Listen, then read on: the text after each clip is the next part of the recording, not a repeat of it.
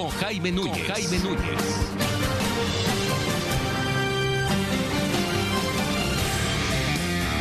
Los placeres de la tecnología.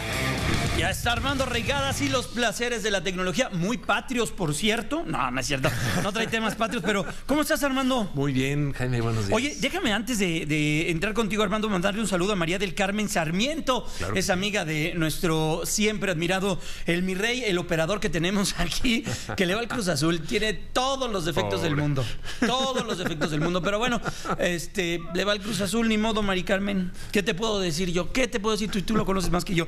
Saludos a María del Carmen, a Sarmiento que nos está viendo. Y bueno, pues es buena, buena amiga del de, eh, el rey y que está aquí, de Arturo. Y que bueno, pues siempre nos opera. Todos los domingos opera la consola de controles aquí en Grupo Fórmula. Y es de los grandes ingenieros que tenemos, porque además está en otros lugares por su profesionalismo y su conocimiento. Es buenazo eh, el Arturo. ¿Qué onda, Armando? ¿Cómo vas? Pues bien, fíjate que tenemos una serie de informaciones muy interesantes y empezamos con esto. Fíjate, una pantalla Crystal LED desarrollada por Sony y me, me traigo el tema no tanto porque pues, no es algo que vamos a comprar y ahorita vas a ver tú por qué, sino porque es la próxima evolución de la televisión, es lo que están presumiendo, ¿no? Siguiente generación. La siguiente generación. Esto que estamos viendo está diseñado especialmente para pantallas muy grandes, incluso eh, cine. Es decir, ya sustituir el- la pantalla tradicional. O sea, ¿son sobre la que se proyecta. Exactamente, son módulos de 40 por Módulos. 45 centímetros.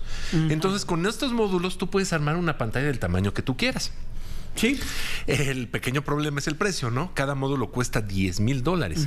En multimedios tenemos una así en, que nos da en la parte de atrás y tiene una nitidez extraordinaria. O sea, no, no, no, ¿qué te, qué te puedo decir? Y es una pantalla y la puedes hacer medio curva y está súper bien. Sí, sí, sí. Esta maneja eh, módulos de, de- bueno, la- de lo- los LEDs, perdón, de cada módulo tienen cien- son 100 veces más pequeños que lo normal. Estamos hablando de .003, es decir, 3 milésimas de milímetro, que es la mitad del ancho de un cabello. Entonces, pues estos ordenados en, estas pantallas, pues generan, como lo estamos viendo, unas, eh, unas imágenes espectaculares. Ya están a la venta, pero obviamente no están pensadas para, para nosotros, la gente de a pie, ¿no? Fíjate, opciones. Una pantallita de 7 por 3.6 metros, estamos hablando 110 pulgadas.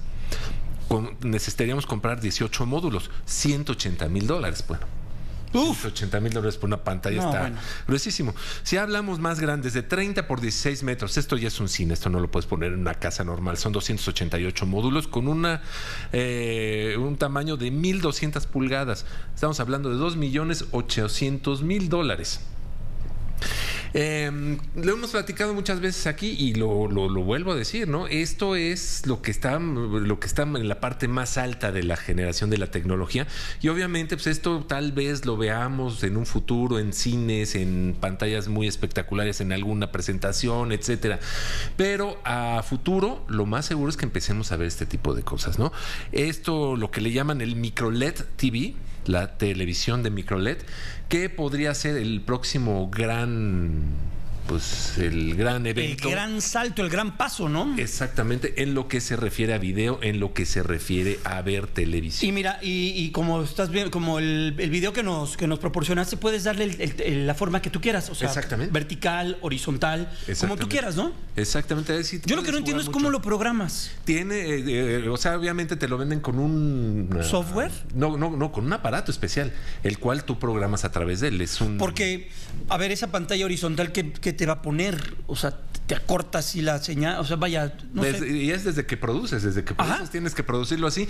Y te, y te digo, cuenta con un aparato especial el cual tú conectas y es el que se encarga de coordinar las pantallas, este, obviamente determinar cuántas son, de cuánto por cuánto, del video que se va a mandar, de qué características tiene, etcétera, etcétera. Es- o sea, es parte de todo el conjunto, el Pues qué maravilla. el hardware para echarlas a volar y que funcione. Yo lo veo más esto como para shows, espectáculos, para los medios de comunicación. Que para claro. una casa, ¿no? Exactamente, en- a lo mejor en un futuro no muy lejano, pues estemos ya viendo y pensando Bajo esa tecnología. Este tipo de cosas. Armando, ¿qué pasa entonces ahora con esta presentación del iPhone que se llevó a cabo el martes, ¿no? Allá el en gran evento Cupertino, de- California. Cupertino, California. El gran evento de Apple es así como que la misa anual de ellos y como que es cuando presentan y pues, sumamente criticado. No sé si qué qué te pareció a ti este pues hump le dicen esta joroba de tres cámaras que por ahí había unos memes muy curiosos, ¿no? De que tenían ahí como waffles y como que le ponían una como que era una cocina, etcétera. Bueno, ¿qué presentaron? Presentaron el Apple Arcade Juegos juegos y juegos por 4.99 al mes dólares. Esto significa que es un sistema de streaming, es decir, no vas a comprar los juegos, sino vas a tener un sistema tipo Netflix, ¿no? Apple TV confirman, también muy barata, 4 pun- 4.99 dólares, disponible a partir del 1 de noviembre.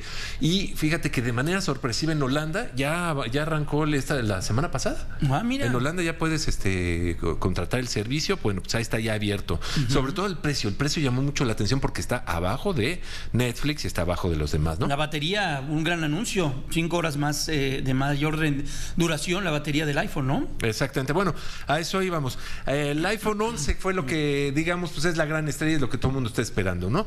El iPhone 11 desde 17,499 pesos, el más modestito, 64 gigabytes. Mantiene el notch, varios colores, blanco, negro, verde, amarillo, rojo y morado. Cámara, cámara perdón, con el bump. Esta es de dos lentes. ¿Por qué? Porque es el iPhone 11, no es el de gran precio.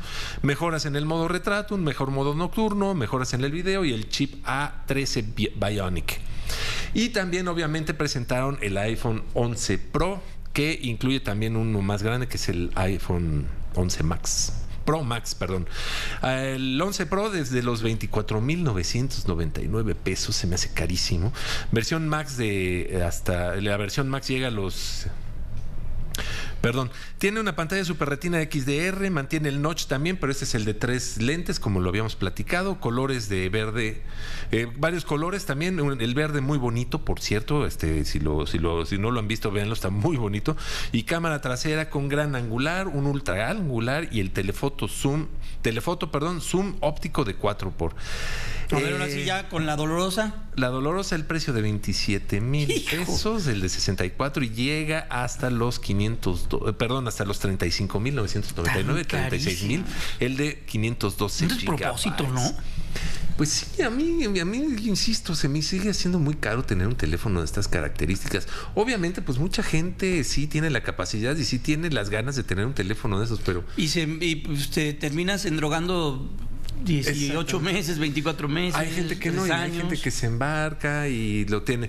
Pues ahí están. Eh, yo la recomendación, y fíjate que eso es lo que yo, cuando me dicen, y tú te lo comprarías, yo, si ustedes ya tienen el modelo anterior, el 10, no lo compren. No, se- No. no hagan el cambio, espérense hasta el año siguiente. Pues fácil. Aparte, Si no les surge con- muchísimo, sí, pero si no, si quieren comprar uno con mejores características, porque hasta ellos mismos ya lo dijeron, el del 2020 va a estar mucho mejor que el del del que- que Imagínate. acabamos de ver. Hijo. Oye, Armando, ¿y qué, qué anunció Uber? Uber, por otro lado. un Hablábamos hace unos minutos con la gente de Uber, pero platícale a quienes nos están viendo ahorita mismo. Pues una cosa muy interesante. Uber tiene una cosa que no tiene nadie más, datos. Imagínate cuántos viajes se han hecho del 2016 al día de hoy. Miles de datos. Entonces, todo eso representa que ellos tienen un conocimiento muy cierto de qué es lo que está ocurriendo en las calles a nivel tráfico. Entonces, por primera vez en la historia, porque pues, este es un primero, ellos van a abrir de forma gratuita, y es más, ya está abierto, un sitio web público que ofrece los datos agregados de lo que son estos viajes. La intención de ellos es ayudar a autoridades, académicos, a comu- comunidades, etcétera, pues, a visualizar el tráfico. ¿Qué está pasando en la Ciudad de México? Yo lo estuve probando el otro día y está muy interesante. ¿Por qué? Porque si tú dices, bueno, mañana quiero, quiero viajar a, tal hora, de tal, de tal punto a tal punto de la ciudad, a las 5 de la tarde, ¿cómo, cómo ha estado? ¿Cómo, ¿Cómo estaría el tráfico esas horas? Pues te das una idea más o menos de la zona donde estás hacia dónde quieres llegar. Lo estamos viendo en pantalla. Si te fijas ahí donde, donde está ubicado el puntito del centro, es como si tú estuvieras en esa zona. Y según va oscureciéndose el color, es el tiempo que vas a tardar en llegar a esas zonas que siguen por allá. Entonces, pues esta, Y está buenísimo, la verdad está- es una gran herramienta, ¿eh? una grandísima herramienta y sobre todo para la gente que está encargada de la movilidad.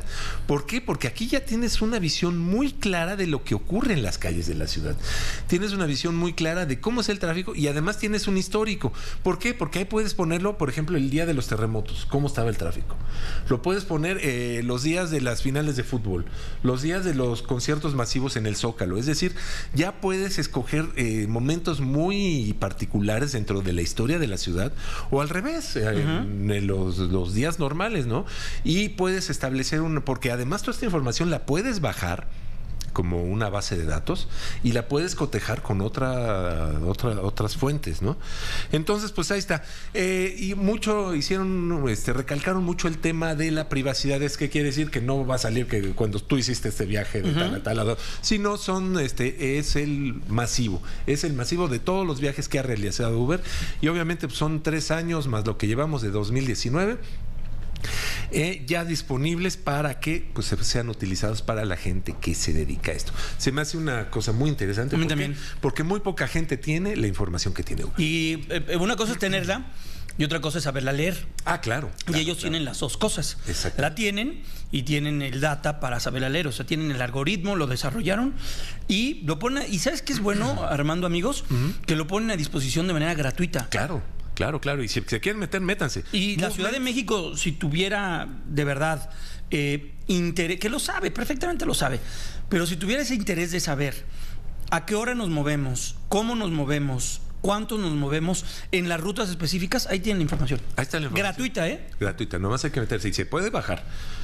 A, a Pepe Merino y a ellos que les gusta tanto este tema del data y de los datos y Sí. los números, las estadísticas, todo eso, ahí deberían, y ahí es donde, oiga, mira, en lugar de meter el, el metrobús de este a oeste, ¿por qué no metemos un metrobús que venga de Catepec para acá? Porque aquí es donde están más rutas y a la hora, así de fácil, ¿eh? Exactamente.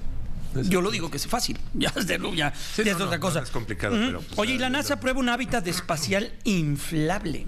Exactamente, empezaron con pruebas en tierra de lo que será pues este hábitat que están proponiendo ellos. Este es, perdón, una empresa que se llama Bigelow Aerospace y ellos están diseñando esto que ves así como que un gran globo blanco, el cual tiene una gran ventaja. Tú lo puedes subir eh, desinflado al espacio, ocupa muy poco espacio, pero a la hora de subir, de, de inflarlo en el allá, ya una vez que esté en órbita, lo inflas, lo inflas obviamente con los gases que vas a utilizar como atmósfera al interior. Eh, es, eh, eh, generas una habitación que tiene 330 metros cúbicos.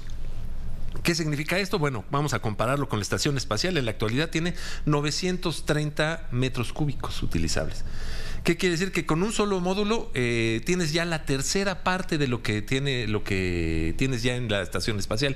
Y obviamente, pues aquí la situación es de que la NASA está haciendo pruebas porque la NASA ya está viendo la forma de empezar, a- bueno, no está viendo la forma, va a empezar a, a construir una estación espacial alrededor de la Luna, la cual será la base para las futuras misiones a, a descender la- al satélite una vez más.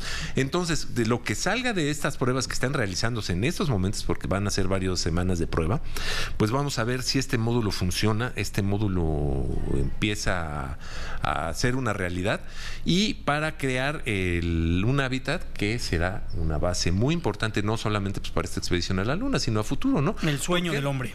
Exactamente, porque es muy fácil de llevar al, al espacio, es muy fácil de construir y obviamente pues muy fácil de acoplar, de utilizar con otras Armando, cosas que ya están ahí. ¿dónde pueden ver todo esto? Reseñando.com tenemos toda esta información y a lo largo de la semana acompáñenme en Arraigadas, Reigadas con Y en Twitter, ahí estamos conversando, estamos platicando de estos y muchos otros temas y obviamente pues, si tienen preguntas, dudas, estoy a sus órdenes. Gracias Armando Reigadas y los placeres de la tecnología. Son ya las 9 con 31 minutos.